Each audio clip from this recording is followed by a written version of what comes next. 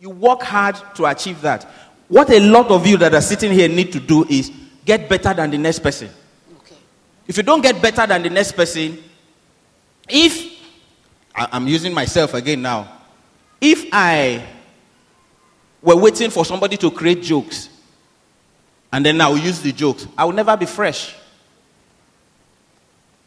If, if you don't have ideas that are new, then you'll be relying on ideas that are old. And the customers that want to pay won't be paying for ideas that are old. They'll be paying for ideas that are new. Somebody has an event now and he says, um, let's get so and so. I uh, but we heard him last week. And he, and he and this other guy, the same thing they said. Uh, your market is going. And I don't know about you. For me, I don't do dirty jokes. I don't tolerate it on my page. If you crack dirty jokes or do anything dirty on my page, I block you. Now, there are some people who will tell you, oh, it's good, it's good. I say, okay, continue. Devcom Merchant Bank in 1994 had an event and I went there to perform. And one of the guys came and said, eh, there's this joke that I've heard. Tell it. I said, but it's a dirty joke. He said, tell it. Our chairman likes it. I said, eh. I was working with Bisi Olatilo, so I went to Bisi. I said, there's this joke that this man said I should crack. I, it's not my joke, and I don't think it. He said, don't tell it, oh. Because that man would deny the joke. I said, eh. But guess what? Alan Blow was working with me. And I told Alan Blow. Alan Blow said, ah, it's a very funny joke. And started telling the joke. Halfway through the joke, somebody calls me and says, Are you the one that let that man hold the microphone? I said, No, that then I looked for the man that told us to tell. I said, That is the man that said we should tell the joke. And I saw them pushing him out of uh, Lagoon. Jade, jade, jade, jade. Chairman, ipe tó ń bá rí jade, jade. And the guy now, you know, so when the event finished, the guy was waiting for me. He said, Ali, so why did you tell them I was the one that told you? Bó ṣe máa kó gbó sí mi lápò nìyẹn.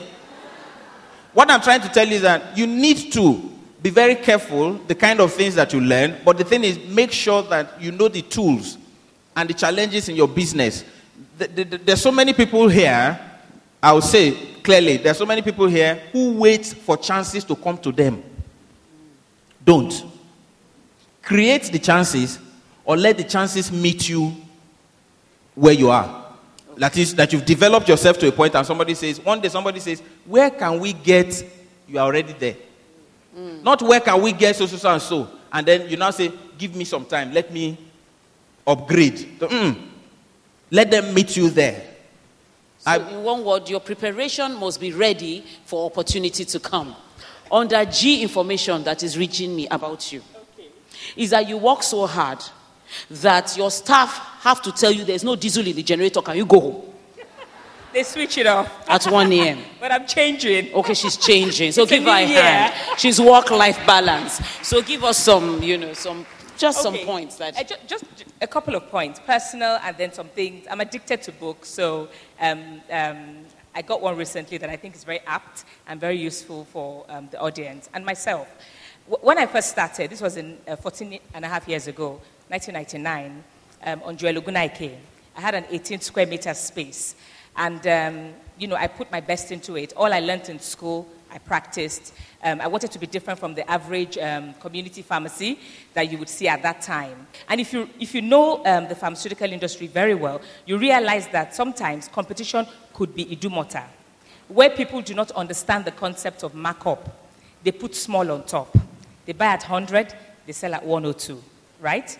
Now, we cannot do that. Um, I have pharmacists in my employment. When I started, they were, as a matter of fact, as at this point in time, there are probably only two um, classmates of mine in the country. They've all gone to the UK, US, and Canada. So how do you retain, you know, such people? You have to pay right. You have to source right. You have to obey. We have chosen to obey the laws of pharmacy. How do you handle competition, for instance? Um, I've got a major competitor, and um, sometimes under the same roof, what do you do? Um, how do you differentiate yourself? For us, um, it started with our service, professionalism, ethics, um, um, excellence, like I keep saying, and excellence in everything, from our logo to our name to our slogan, to our colors, to the uniform of our staff, to training. This is very important. Now, I'm not exactly Alibaba, and I'm definitely not Banky W. I'm a very regular woman. I'm a pharmacist, and I belong to a very structured and conservative industry. So I'm hoping that there are a few of you in there, you know, who, who understand what I'm talking about. Um, and so the way we had to differentiate ourselves was in our service, was in customer service, was in training. I made sure that our pharmacists are up to date with cutting edge information. And um, it's a matter of time. It's a matter of time before people begin to um, notice the difference. Now, those who know me know that I'm a critic.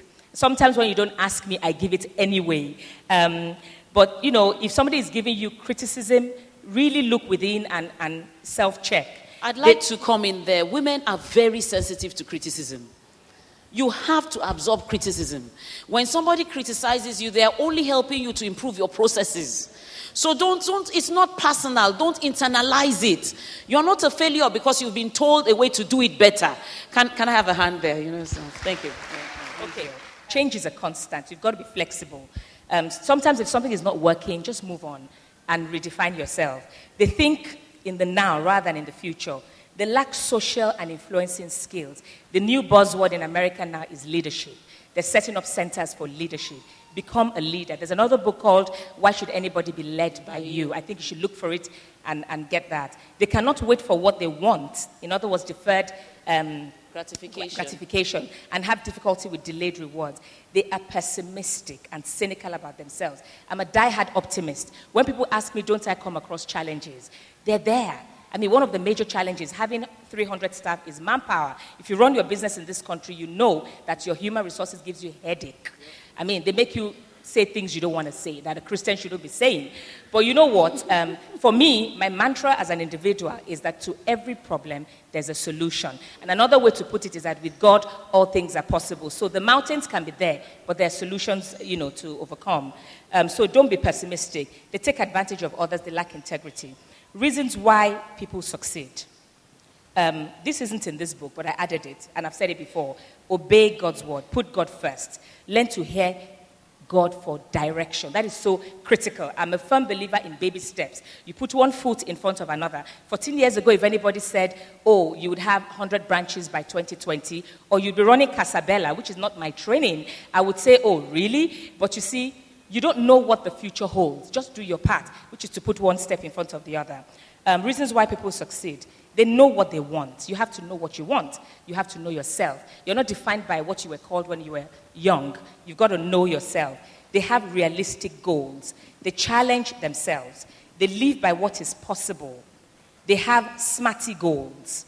And I'm sure you know about smart goals, but I just saw smarty. There's an I, which means it's interesting. Um, um, they are motivated. They're committed, committed to excellence. They are willing to pay the price in terms of time. They will walk through personal slippage and failure. You buy the book. I think, I think what we might have to do is yes, like, I, I promised you okay. how many points. Okay. Um, buy the book. Good. Can we give her a hand?